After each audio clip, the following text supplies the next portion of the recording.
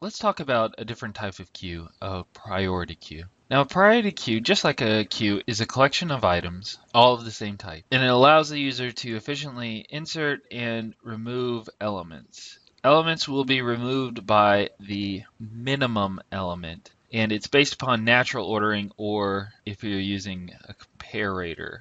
A priority queue is an abstract data type, meaning no matter the language, the principles of a priority queue are going to be the same. Now we look down here and we see that we have a queue and it's not going to be the first in, first out as a basic queue is. It's going to search for the minimum item. And you can see right here that 19 is the minimum item in this priority queue and it would be the first one removed. So the minimum item has the highest priority to be removed. You can change this using a comparator, but it goes based on natural ordering. And natural ordering for numbers is ascending order. At the top, I want to tell you that a priority queue using Java's priority queue class is not going to be implemented in the way that I'm about to show you. It's implemented in kind of a interesting way using a heap. And we're not really going to get into that because for this video, I just want to show you how a priority queue works, not necessarily the mechanics behind it. So I'm going to show you a basic implementation, but realize when you're actually using it in Java, it is implementing it different than this, but the principles are exactly the same.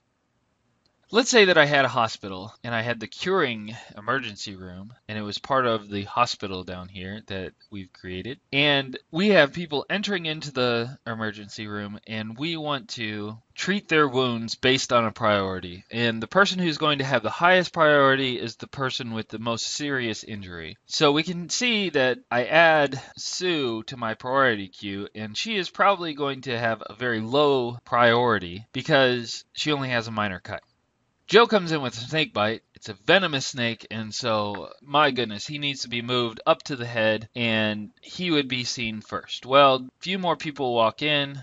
Bobby, he has a broken arm. Well, broken arm is more serious than a minor cut, but it's not as serious as a snake bite, so he would be put here. And then we have Sally, who comes with the stomach flu. It's an awful stomach flu, has to be treated quickly, otherwise, it's going to spread to everyone, and nobody wants what Sally has. So we're going to move her in the priority. So you can see that this queue is not based on a first in, first out, as basic queues are. It's based on a priority, and you can see once they're prioritized, they would be able to go into the hospital. in their prioritized order. Now, priority queue has several different methods. Some of them are familiar to us, like add and offer. We also see poll and peek, and we're missing element and remove, but they're there because they're inherited from their superclass and they didn't have to be redefined inside of this class.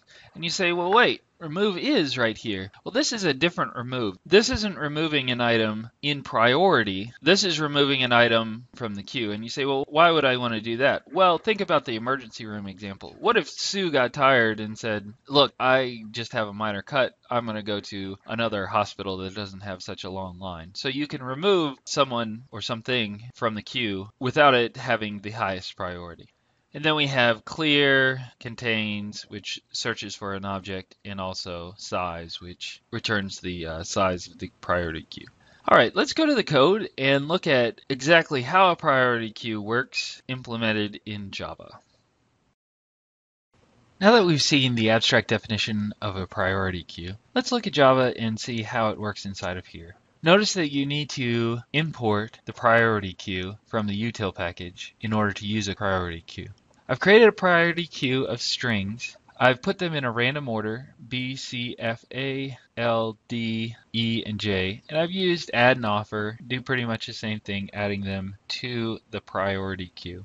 Now, if you remember, a priority queue is certainly different from a regular queue or a basic queue in that it pulls things out via a priority. And the priority for strings is lexicographical ordering or in our case because I'm only I'm not using any symbols or spaces we could just say alphabetic ordering. So A is going to be the minimum value and have the highest priority Therefore, when we run this, we should see the head being A. And I've used both peek and element to view the head.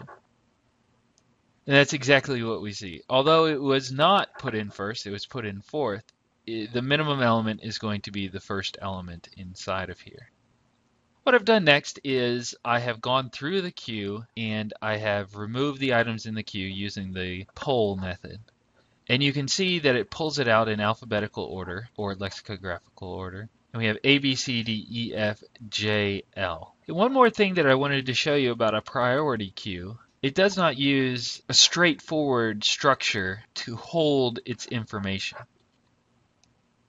So now when I remove this information, I'm going to run the project and when I do, I want you to notice that before I remove the information, I print out the queue, and then I, after I remove the information, I print out the queue. Notice before I print out the information, it is not in priority order. After I remove the first piece, which is the minimum data, which is the head, it is still not in priority order. It would be B, C, D, and then E, F, J, L. And again, the head is always going to be the minimum value and therefore have the highest priority and be removed, but it's ordering it inside of an array according to a binary heap structure. And there is a way to look at this and tell which one is a root. The root is always going to be the minimum value. Which one are children, which one are parents, but it's not very straightforward when you print it out. But it will be straightforward when it's printed out, as was the case up here. So when you just remove something, it's going to remove it according to the priority that is set. This is natural ordering, and it pulls it out straight. But when you look at the priority queue, it's going to look awfully odd